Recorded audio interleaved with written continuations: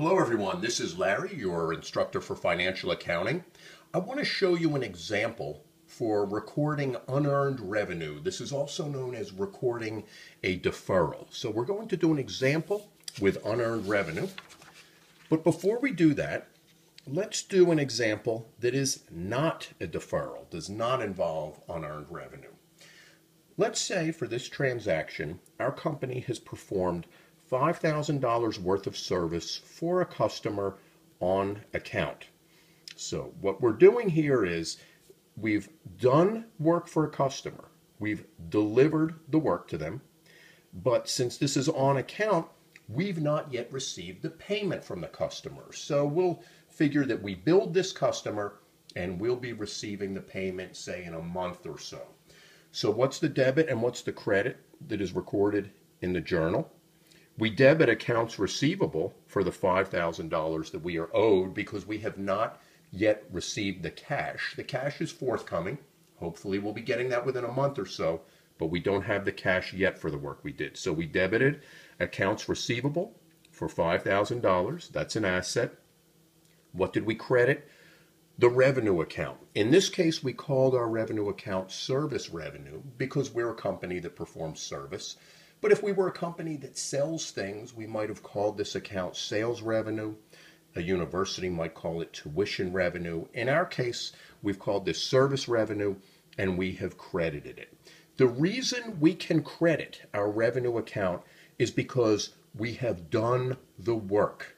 Because we have completed the work, we have the right to credit our revenue account. If we're a company that sells goods, we can credit the revenue account when we have delivered the goods. But that must be done before we can credit revenue. We haven't received the cash yet, but we've done the work. So we've credited revenue, debited accounts receivable, and this is an example, which you may know of as an accrual, where in this case, the money will move afterwards, after the work has been done. And of course, we can do this in T accounts too. Here's our accounts receivable T account. And here's our service revenue T account. And to record the accrual, we can debit the $5,000 and credit the $5,000 to accounts receivable and service revenue, respectively. Now, let's do an example of a deferral. We just did an example of an accrual. This is now a deferral. In this case, our company is receiving a cash advance of $5,000 from a customer. It's the opposite of the example we just did. The accrual example that we did a moment ago we did the work before receiving the money. The money is coming later. In this deferral example, we are getting the money before we do the work. We're receiving the money today at the cash advance, and we're going to have to do the work for the customer later. So how do we record this in the journal? This is a deferral. Well, since we've received this money up front, clearly we're going to debit cash. Our cash just went up by $5,000, so we'll debit the cash account for $5,000. Now, this is the tricky part. What do we credit? We cannot credit the revenue account. Why? Because we have not yet done the work. Or in the case of a company that sells things, not yet delivered the goods. If we have not yet done the work for a service company, if we have not yet delivered the goods, if we're a product company, we cannot credit revenue. So folks, what is the name of the account that we will credit instead? It is called unearned revenue. And we will credit it for $5,000. Again, because we have not yet done the work.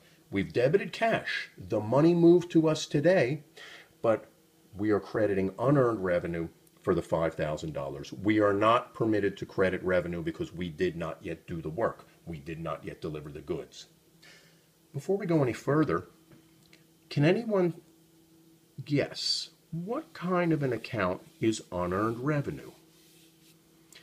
Many students might say, well, it's a revenue account. I see the word right there. It says revenue. No, this is not a revenue account.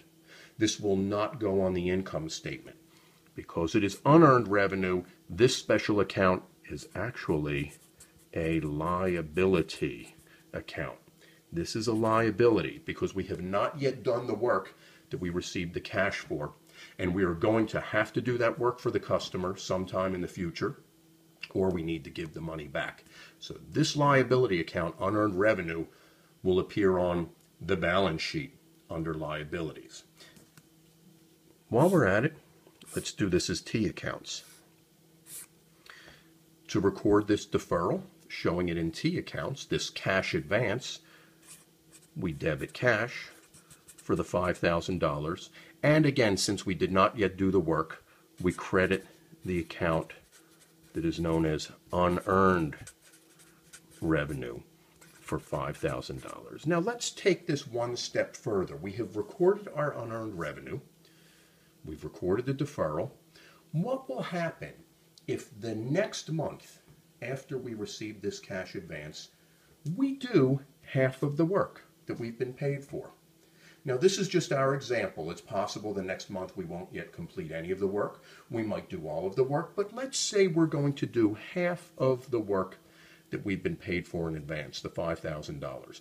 Folks, to make that adjustment on the books the following month, what would we debit and what would we credit? We're going to need another T account over here. We'll show this in T accounts. If we have done half the work the following month, at that time, we will debit for half of the $5,000 $2,500 to unearned revenue. That will reduce this liability. And what will we simultaneously credit? The account that is our revenue account. In this case, service revenue. We are permitted to credit service revenue for $2,500 half of that work that we were paid for in advance because we did $2,500 worth of work. Remember, we cannot credit the revenue account for any value until we have done the work or delivered the goods for that much value. So, after one month, we're able to credit service revenue for 2500 if we've done that much work. We debited the unearned revenue. What does that leave the balance in our unearned revenue? we will have a $2,500 balance left on the credit side. There's our balance. And what will happen if in two months we complete the rest of the work? That's right, at that time we would then credit service revenue for the following month for $2,500 and we would debit the unearned revenue and the liability would go to zero. Folks, again, what is unearned revenue? It is a liability account. Why did we credit unearned revenue in this example? Because we received the cash in advance. We received the money before doing the work. We did not yet do the work. We did not yet deliver the goods. So we cannot credit revenue. We have to credit unearned revenue. We are only able to credit the revenue account when what happens? When we either complete work or we deliver the goods. I hope that helps. That was an example of a deferral, specifically with unearned revenue.